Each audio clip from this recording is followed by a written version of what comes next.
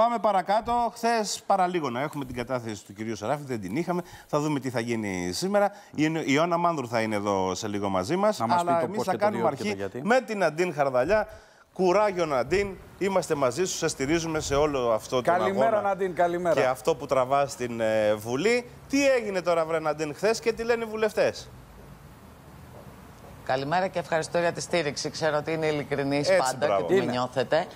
Ε, κοιτάξτε, είμαστε στη φάση που ε, είναι σε διαδικασία εκτέλεσης το ένταλμα της βίαιης προσαγωγής ε, του προστατευόμενου μάρτυρα με την κωδική ονομασία Μάξιμο Σαράφης μετά την άρνηση του ίδιου να εμφανιστεί ενώπιον της πενταμελούς ε, αντιπροσωπείας της Προανακριτικής Επιτροπής στο 14ο όροφο της ε, Γενικής Αστυνομικής Διεύθυνσης Αττικής στις 4 χθες το μεσημέρι που είχε προγραμματιστεί η εξέτασή του. Ο ίδιος υποστήριξε ότι δεν εμφανίστηκε κατά πληροφορίες, φέρεται να μην εμφανίστηκε επειδή δεν τηρούνταν οι προϋποθέσεις που ο ίδιος είχε θέσει δηλαδή για εξέταση του με ηλεκτρονικά μέσα και μετάδοση μόνο ήχου με αλλοιωμένη φωνή από άλλη αίθουσα. Μένει αυτό να εξακριβωθεί εφόσον εντοπιστεί και ταυτοχρόνως στις 4 το μεσημέρι έχει κληθεί επίσης το 14ο όροφο της Γαδά να εμφανιστεί ενώπιον της ε, Επιτροπής ε, του Κλιμακίου της Προανακριτικής ε, η έτερη προστατευόμενη μάρτυρας με την κωδική ονομασία Εκατερίνη Κελέση. Εκτιμήσεις βέβαια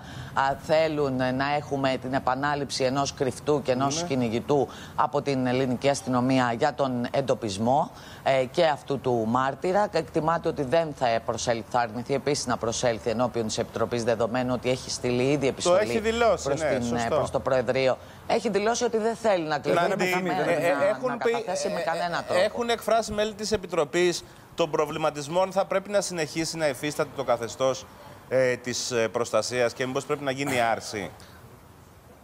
Ναι, πράγματι, αυτό είναι αλήθεια, Χρήστο. Μετά από την ε, χθεσινή άρνηση Σαράφη και την πιθανότατα αναμενόμενη σήμερα ε, άρνηση και της ε, αποκαλούμενης Κελέση, το επόμενο όπλο που βάζουν, θεσμικό όπλο που βάζουν στο τραπέζι τα μέλη της προανακριτικής και συγκεκριμένα η πλειοψηφία, είναι αυτό του αιτήματος άρσης προστασίας των συγκεκριμένων μαρτύρων και μάλιστα υποστηρίζουν ότι θα το κάνουν άμεσα εφόσον δεν εμφανιστεί και αποκαλούμενη Κελέση σήμερα και παραμείνουν μείνουν αμφότεροι άφαντοι.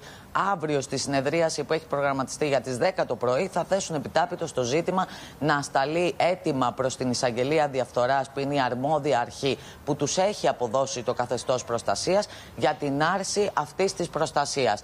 Μένει να δούμε τι θα γίνει σήμερα με την αποκαλούμενη και λέση ναι. και κατά πόσο κυρίως μετά αυτό το αίτημα θα γίνει αποδεκτό από την εισαγγελία ε, διαφθοράς. Οι πληροφορίες λένε αλλά κρατώ μια επιφύλαξη καθώς δεν είμαστε όλοι δήμονες στα νομικά, όπως καταλαβαίνετε. Δεν γνωρίζουμε όλους τους νόμους απ' έξω και τις ειδικές διαδικασίες.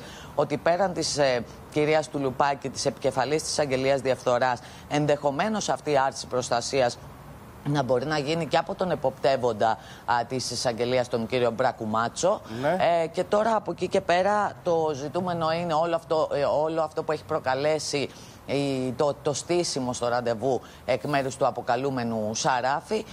είναι σχόλια από, μέλη, από βουλευτές της Νέας Δημοκρατίας και του κινήματος αλλαγής ε, κυρίως ότι τελικά ο λεγόμενος Σαράφης μάλλον μίλησε περισσότερο από όσα μπορεί να έλεγε ενώπιον της ε, Επιτροπής.